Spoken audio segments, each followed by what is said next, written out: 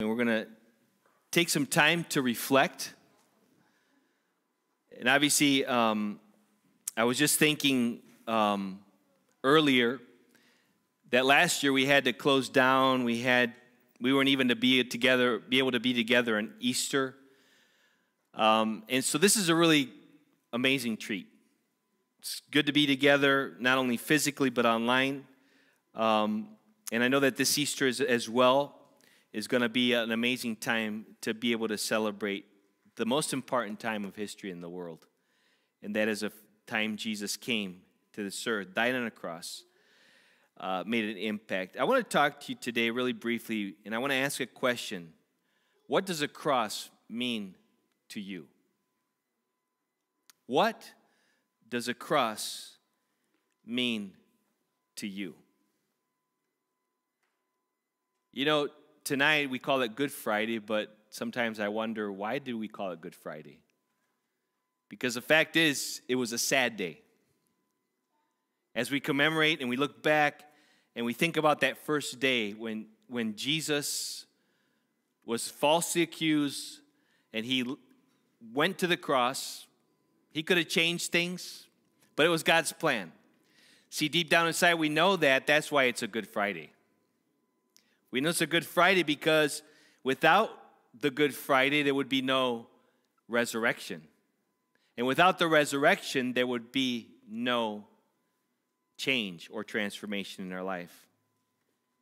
The cross is not just a Christian symbol. Some of us grew up in homes, and the cross became a symbol that we would either put on a necklace or we would hang on a wall to remind us of Jesus but it really didn't have much meaning. My question to you tonight is it just a symbol to you, or is the cross something different? The cross is not just a Christian symbol, but it's God's eternal plan that culminated with an eternal act of love by God that changes everything. It was an act of love. Jesus going to the cross. It was an act of love for God so loved the world, the Bible says in John 3:16, that he gave his only begotten son that whoever believes in him should not perish but have everlasting life. Notice it was a gift. See, love is not really love unless this action behind it. God took action and did something that if he had not done it, first of all, we wouldn't be here tonight. Our lives would never have been transformed. I would have never been at peace with God. I would have never had the joy of understanding my purpose in life. It's all because of that day. First of all, we see two big important days. Jesus came, first of all, we celebrate during Christmas. He came as a baby, right? He came as a baby, fully God, fully man, born of a virgin birth. But then we see that he now grew up, 33 short years lived, at the age of 33 and a half, approximately that time, he was crucified and died on a cross. But it was no surprise to God. It was no surprise to the people of God. It was no surprise to the people of faith because God had foretold. Usually, when God does something, he foretells it, he prophesies about it. He used men to prophetically speak into the future, the will of God and the purposes of God.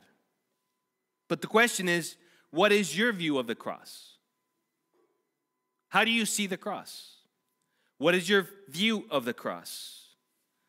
The Apostle Paul had a view, and he completely, in his writings, in his letters to the churches, he spoke very clearly about the cross. Listen to some words here 1 Corinthians 1:18 For the message of the cross is foolishness to those who are perishing, but to us who are being saved, it is the power of God. There's two options here. The Apostle Paul said there's two options. Either, either you're a person that views the, the cross and the symbol of the cross as, as basically foolishness. Like, what are those people doing? Like, why do they talk about the cross so much? Why do they exalt the cross? Why do they look at the cross and say, man, that changed my life? Was he talking about, and when we say that, we're not talking about a physical cross. We have a physical cross here. That cross is a piece of wood. It did nothing for me, it has done nothing for me. But the symbol of the cross has much more uh, uh, patched onto it, doesn't it? It has much more inside of it. The cross is not just a piece of wood that Jesus hung on. It was the whole reality that without Jesus, fully God and fully man, going to the cross, we would never be forgiven of any single act of unrighteousness or sin or wickedness before holy God. There's no way that we could be, have been forgiven except through that one act. And so it becomes foolishness to people who don't understand. Uh, the fool, the, in fact, the Bible says, the fool says in his heart, there is no God. And so the reality is, to many people, it's foolishness. Uh, what we're talking when we when we look at the cross and it becomes a symbol of life. But to us who are being saved, it's a different perspective, isn't it? We have a different lens. We see things differently. And what is the perspective? It's the power. The power is the word dynamite. If I had a stick of dynamite and I threw it in the room here, we'd all run, first of all. But the reality is that stick of dynamite would change the atmosphere and it would change things around. When the true power of God, and we understand the, the true meaning of the cross, it does something inside of us it changes things around, it rearranges our life. Another thing the apostle said it was in Romans 1 16 and 17. He says, For I am not ashamed of the gospel. Gospel means good news because it is the power of God that brings salvation to everyone who believes, first for the Jew, then to the Gentile. For in the gospel, the righteousness of God is revealed, a righteousness that is by faith from first to last, just as it is written, the righteous will live by faith. There's nothing that you can do to be right with God. It's a foolish thing to think that we could just believe that Jesus died on our behalf, that he took our place. But see, that is the gospel. That is the power of the cross. And here's the problem I could come to you tonight with a very fancy message. I could come to you with a message that is eloquent, and I could tell you, and I could tell you a story, and I could, I could, I could spend hours putting together a message that would hopefully change your life. But nothing changes the life of a person except the message that Jesus came, fully God, fully man, and died on a cross brutally died on a cross. And he did it as the Lamb of God. Why is he called the Lamb of God? Because all before in the Old Testament, they were always looking forward to the Messiah. They were always looking to the Messiah to come, the Messiah, the Savior and they would sacrifice lambs. God instituted back in Moses' time when God brought them out of Egypt, his people out of Egypt. And they commanded, he basically told them, instructed them, take a lamb, a one year old lamb that was is perfect and spotless, as spotless can be in a fallen world. But take that lamb and, and sacrifice it on this night, the night that I'm going to deliver you from Egypt, your Egypt. I'm going to deliver you from slavery. And see, we are all born as slaves into sin. Jesus came to set us free. He is the perfect lamb that took our sin on the cross. But what did he instruct them to do? Before they were leave, they were have the Passover lamb. And they were to sacrifice that lamb. They were, they were to eat it that night, not leave anything with it.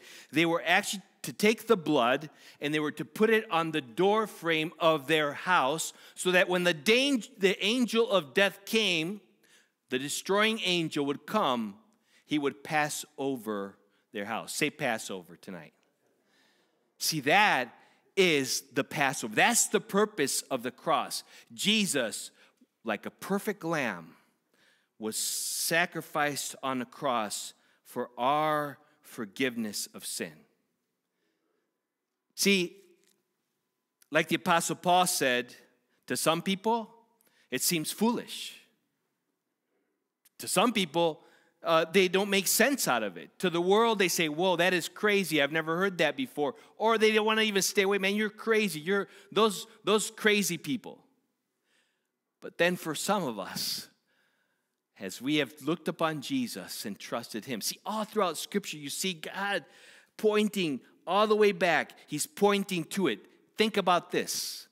When Cain and Abel, remember that? Or even let's go back further when, when actually Adam and Eve basically fell into sin. They walked into sin. They disobeyed God. What happened? God came looking for them and he said, Listen, where art thou? Did he know not where they were? Oh, he knew where they were. And you know what he did? The first thing that he did? He took an animal and he sacrificed an animal. God killed an animal and made clothing for them. He covered them. So, right there, you see blood being shed to cover their nakedness. See, before God, our nakedness of sin is seen. You think that we can hide, you can hide anything from God. You and I cannot hide anything from God. He knows our thoughts before we think them. He knows our words. He knows our motives. He knows intentions of our heart. He sees everything. But He's perfectly in love, and He comes to us and He says, Listen, I came and died on the cross. See, even Let's go right now to the story itself, the narration. I would say not just a story, because sometimes we think of a story, we think of it just as a story. Ah, that's a story. That's a fairy tale. But let's go to the narrative. In Luke 23, verse 32, and also 39 through 43. And we see the actual moment that Jesus had been crucified. And he happened to be crucified with two criminals, who criminals, they deserve to die. And you see this playing out where you see some people see it as foolish and some people see it as the power of God unto salvation. Listen to the verses simply. I'm going to read them really quick. Two others who were criminals were led away to be put to death with him. One of the criminals who were hanged railed at him, saying, Are you not the Christ? Save yourself and us. But the other rebuked him, saying, Do you not fear God, since you are under the same sentence of condemnation, and we indeed justly, for we are receiving the due reward of our deeds. But this man has done nothing wrong. And he said, Jesus, remember me when you come into your kingdom. And he said to him, Truly, I say to you today, you will be with me in paradise. See, one made fun of him, mocked him. In his foolishness, he could not understand the power of the cross. On the other side, you could see the one criminal look to Jesus and he rebuked the other guy and he looked to Jesus in faith. And what happened? Jesus gave him a promise. Today, you'll see me in paradise. I can imagine when he went through that moment of death, when they came, the soldiers came and they broke, just to speed up their death, they broke their legs of the criminals. They came to Jesus, he was already dead. So they broke the thing. And imagine that moment, that moment that he breathed his last breath and there was death. Death means separation. And, and his body was left hanging on that cross, but his soul and his spirit went to be with God Almighty. I can just see their reunion right there. and it was momentous. It was like this. Immediately in the presence of the Lord. Think about that reunion. See, death we fear many times. Don't fear death, my friend. You know why? You should only fear death if you do not trust Jesus Christ for everything in your life. Two eyewitnesses with two different responses. See, the crucifixion was an execution for criminals. These two criminals on each side of the cross had contrasting reactions, as we've talked. But see, you are either following Jesus or forsaking Jesus. You're either going towards him or running from him. What is it? What are you doing? But has the cross been powerful enough to put your to turn your life around? Has, have you found the meaning of the cross? Why do we gather for Good Friday? Because we remember with an incredible gratitude to what Jesus has done for us. But see, I, I believe this that if you and I don't really understand the gravity of our sin, we can never understand the greatness of his love and forgiveness. When you and I need to understand God's holiness before we can understand how sinful we are. Let me give you an illustration. Have you ever gone spelunking before? Caving. Maybe I said that wrong word wrong, I don't know. But spelunking, I think it's called. I went spelunking one time, or spelunking? Yeah, there you go. Looking at my wife to see, okay, she's okay. okay. When I went spelunking, I, you go on this dark cave. We had flashlights, and you can only see dimly. We don't see clearly. And you're walking through all this mud, and you're going through water up to your waist, and you're muddy, and you're sweaty, and it's hot, and you're walking around, and you're trudging around, and everything's wet. Your feet are wet, your socks are wet, everything's wet. And you're trudging through it. You don't even realize how dirty you are because you can't see. I mean, all you see is Bailey. You don't see clearly, but you're dirty. Until you come out of that cave and you see yourself and see others in the light, you don't realize how messed up you really are, how much you really need a cleansing. And I believe this Jesus cleanses the soul like nothing else. He forgives us, cleanses us. And I don't know about you, but when you realize that you've sinned against a holy God, and you, the gravity of what that means, and that if you do not turn to Jesus and you do not receive his forgiveness and you don't trust him completely and only in him put your trust, what can happen is you can go into a despair, go into an eternal separation from him.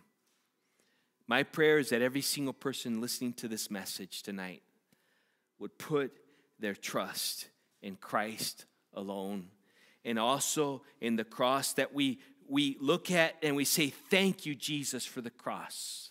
Thank you for the sin that you bore because it was our sin. Let me put it this way. It was your sin, my sin that crucified Jesus.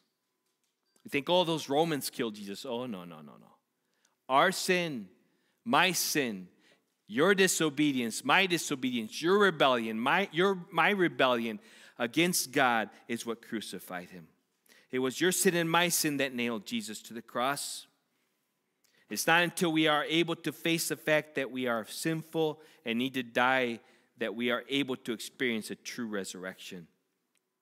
My prayer tonight, and we're going to partake of communion because this is remembering that moment that Jesus took our place. It was his blood that was shed, it was his body that was torn.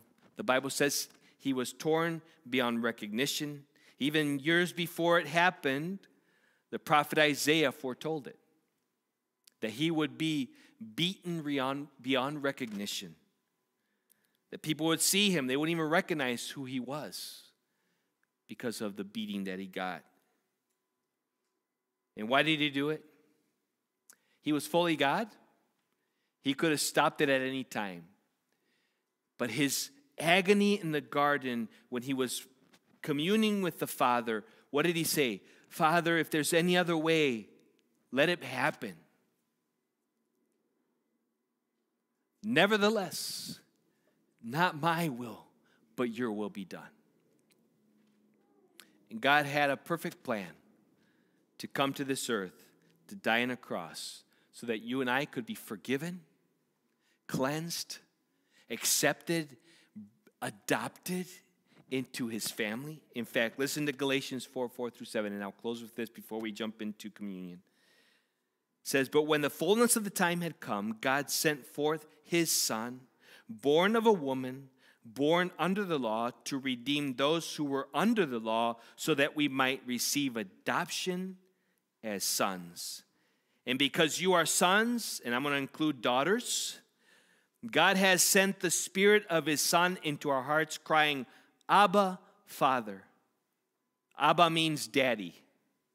So you are no longer a slave, but a son. And if a son, then an heir through God. Is there something to celebrate tonight? Isn't it Good Friday? So I'm going to invite us to stand and we're going to I'm going to invite the worship team to come out.